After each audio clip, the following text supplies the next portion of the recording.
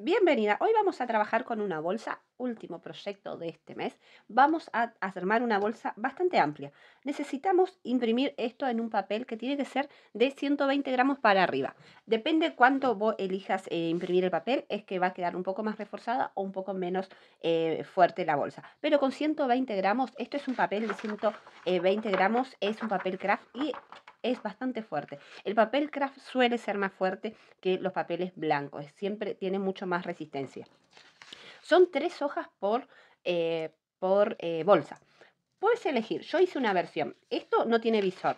Y acá para la que quiere hacer con un visor, que le puede poner un acetato o le puede poner un papel de otro color, también tiene esa opción. O si no, imprimís simplemente esta que es lisa, sin nada, después le puedes poner el sello de tu marca, lo puedes decorar, le puedes poner cinta y cambia un montón.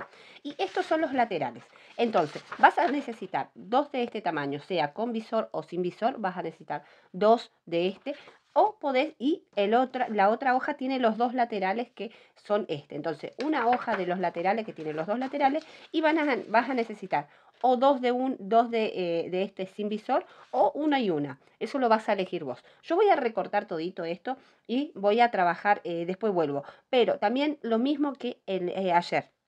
Esto si vos no tenés, no tenés impresora que soporte alto gramaje, lo podés imprimir en la impresora común y lo podés transformar de la misma manera que trabajamos ayer en un molde. Podés pasar este diseño, lo podés transformar en un molde. Entonces, yo voy a recortar todito y después lo vamos a armar. Bueno, ahí le puse cinta a todo, corté todo, inclusive le puse a un lado, le puse el visor para que veas la diferencia de una y de otro. Lo mismo que hicimos ayer con la caja sushi, que vos querés, eh, que si querés usarlo como molde, puedes hacer de la misma manera que te expliqué ayer para pasarla eh, a un molde. Ahora lo que tenemos que hacer es primero unir los laterales. De esta manera vamos a pegar uno con otro. Puedes elegir poner o no poner eh, visor. De la misma manera que te expliqué ayer también, podés agarrar esas líneas que se notan que quedan un poquitito feas. Yo las dejé todo del lado de dentro. Yo agarré, pasé el cúter y lo doblé para el lado del revés. Así eh, no se me ven todas esas líneas feas que me quedan marcadas del lado exterior. Vamos a ir uniendo. No hay nada complejo acá, es solo unir todo y te va a quedar una bolsa bastante grande. Eh, si tenés eh, la impresora, puedes imprimirlo en un papel ya de 7. Esto, como te decía antes, es de 120 gramos y queda bastante fuerte porque el papel craft es fuerte. Otra cosa que podés hacer, si tu papel no es fuerte, podés eh, acá arriba doblar un poquitito. Antes de armarlo, lo doblas un poquitito para hacer como un refuerzo donde va a estar las manijitas o los hilitos que van a sujetar a la bolsa. Esto es armar todo, te va a quedar bastante grande. Esto es así.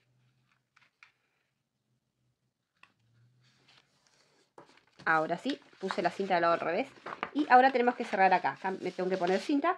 Y es todo. Después pegamos la base, podemos poner una cinta, podés hacer eh, con visor, sin visor, podés poner un hilo o no podés ponerle nada y no hacerla con manijas si te gusta más eh, simple.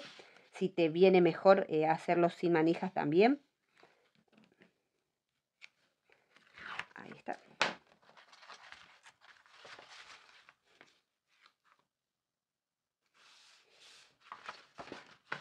Y pegamos la parte de abajo.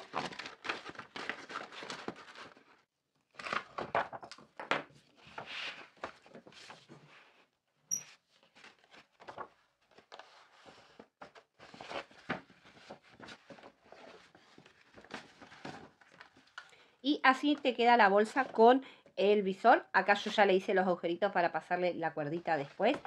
Y así queda con eh, sin visor. Vos puedes elegir hacer dos moldes de esto y te va a eh, quedar totalmente sin visor o puedes elegir hacer uno y uno y de un lado podés eh, hacerle con un visor.